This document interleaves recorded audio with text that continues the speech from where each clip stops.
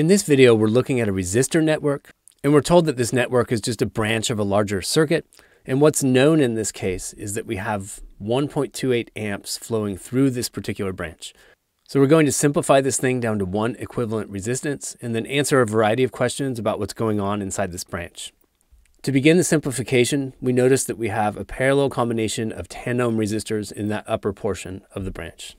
And those combine according to the parallel combination rule. 1 over the equivalent resistance is the sum of the reciprocals of the two resistances. And that equivalent resistance comes out to 5 ohms. And then we redraw the circuit.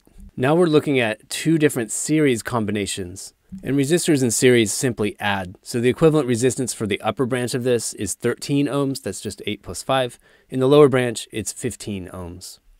And finally, we're looking at a parallel combination of a 13 ohm resistor and a 15 ohm resistor. So we take 1 over 13 plus 1 over 15 and take the reciprocal of the result.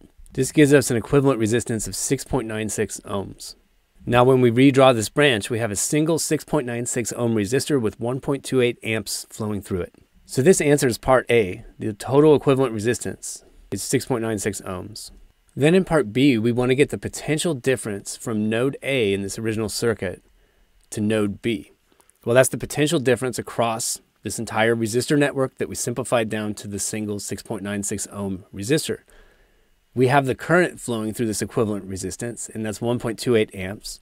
And we have, of course, the equivalent resistance itself, and if you have the current and the resistance, you can figure out the potential difference across it with Ohm's law. So we just write down V equals IR.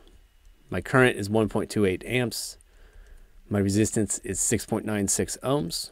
And I get a potential difference of 8.91 volts. Now that we know the potential difference across this branch, we can answer part C. We want the current through the 5 ohm resistor.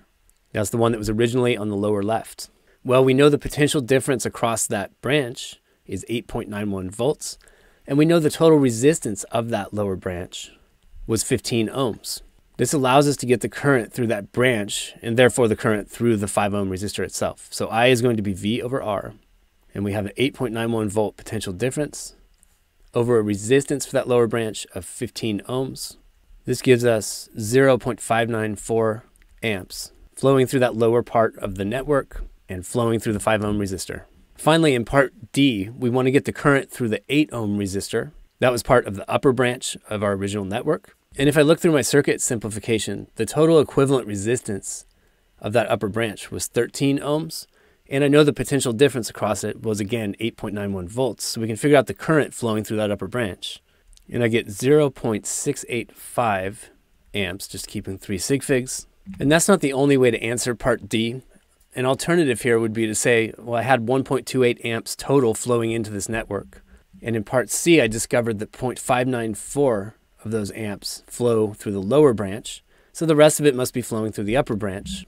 So I can calculate the answer for part D by just taking my original 1.28 amps and subtracting the amount that went along the lower branch. And I should get the same answer.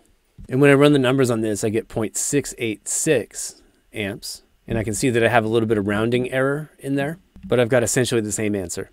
If you enjoyed this video or at least found it useful, check out another one by clicking one of the links on the left, or click the Zak's Lab logo on the right to explore dozens of physics and math playlists. As always, you can leave your questions, comments, and requests in the comments section below, and I'll get back to you within 24 hours. Thanks for watching Zak's Lab, and best of luck on your math and physics journey.